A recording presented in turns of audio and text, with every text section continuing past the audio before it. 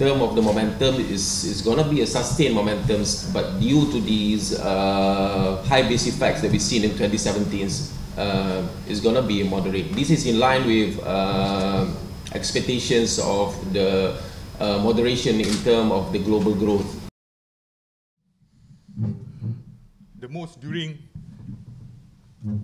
critical. For example, in 2008,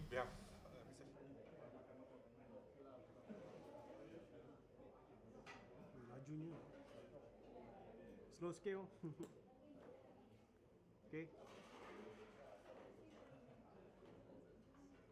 Okay. Okay.